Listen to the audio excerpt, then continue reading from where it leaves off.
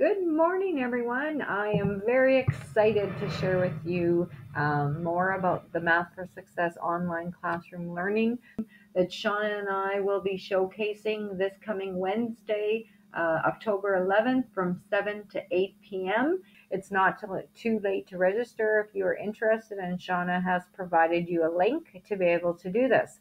So, those of you who have registered, I'm, I'm very much looking forward to uh, having you take part in that, and I hope to see and hope to see more registrations as well. I'm going to start uh, by sharing with you what the objectives of this online classroom learning is, as well as what is included in it, and then just a little bit more on prices and costs. And there will be a registration after this webinar if you are interested in joining. So let me start with the course objectives. What what the objectives are in this course are going to be understand curriculum content, understand how the curriculum progresses from kindergarten to grade six. I think it's really, really important that we don't, we can't only just understand what we are teaching at that level, but also where have they come from and where are they going to. And I've heard this from many other mathematicians that do presentations just like me and, and agree with that. We also have to be able to unpack our own mathematical knowledge of concepts, understand how to teach for students to develop number sense, conceptual understanding, and procedural fluency. Learn many strategies and or number routines to help delve, develop number sense. And online classroom chats with other teachers, which provides opportunity for collaboration. We want to also learn and understand mathematical mathematical vocabulary and the importance of using the right vocabulary correctly. Reflect on instruction, delivery methods through videos and sharing. Understand how students work, oral, written, and hands on guides instruction. Opportunity to either read or listen to research, whether it's books or art- articles, and understand how to infuse it into your classroom for student learning. Help build your confidence and ignite your passion for teaching mathematics. What is going to be included in this online classroom? Well, we're going to look at classroom video clips.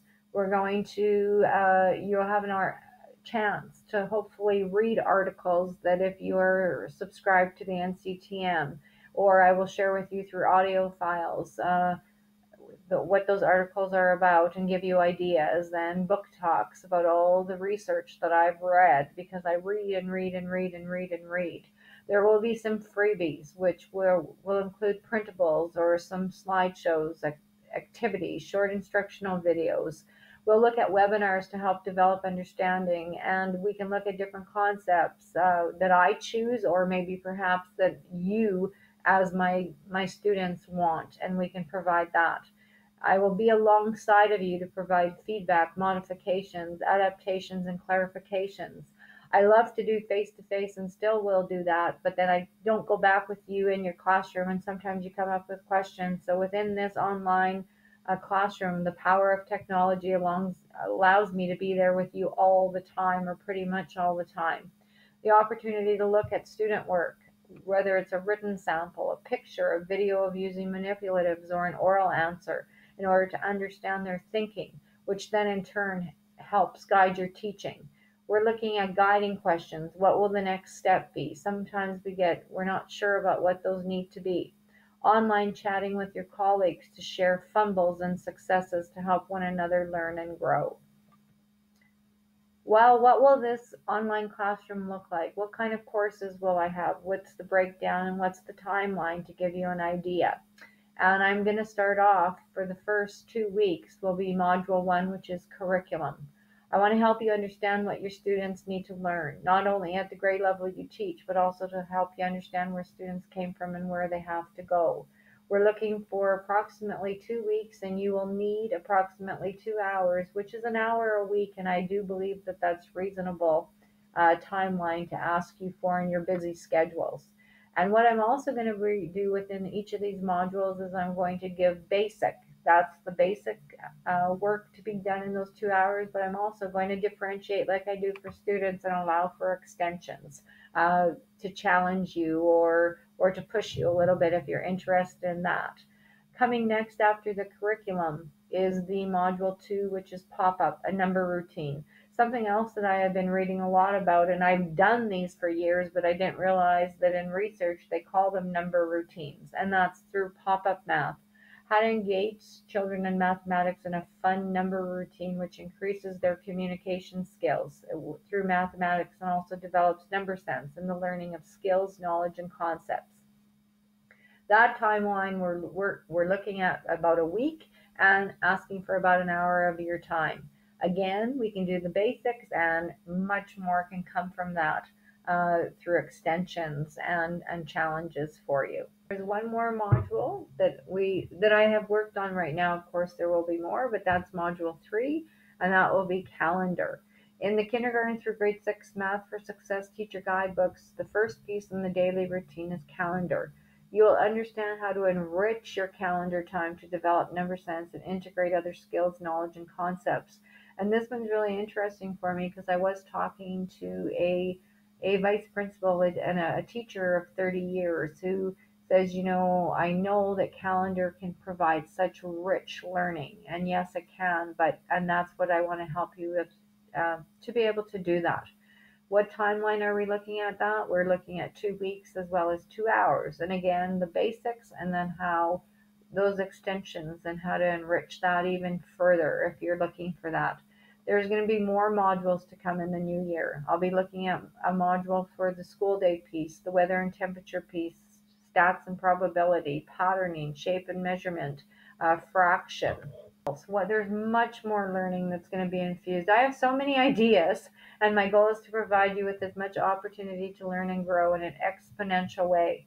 We will look at money and operations and subitizing and hundreds chart and number line and geometry and time. And the list goes on and on. And I promise to give my absolute best in sharing my own expertise to help you and your students not only improve in the area of mathematics, but to grow in seeing the beauty and creativity in mathematics. And I I consider myself to be a mathematician and an expertise of that knowledge, but I also don't know everything. I don't have all the answers and, and I know I'm gonna also learn from you, which I'm excited about. And if we we can learn together and if I don't know something, I am gonna make sure that I, I dig deep into research or or call on some of my own resources that I'm connecting with through uh, people through Twitter and all kinds of things. So I will find those answers for you. Uh, please, I ask you to take advantage of this online learning opportunity and let's learn and work together to change the culture of how mathematics is taught and viewed. I love Christina Tondevold's mantra, and if you're looking for more on her, you can find her at mathematicallyminded.com. She says, if not me, then who? she says what we tend to do is go oh okay i won't i may not get it this year or it's hard or i can't get through to the kids or uh, and oh it can be the next year's teacher and then the next year's teacher says oh it'll be the next year's teacher and and we really have to we have to say to ourselves that at every level or it's me it's me who has to do it i've got to take that responsibility and it's a big job but it's also a huge rewarding job to I see those kids love math and do well in math.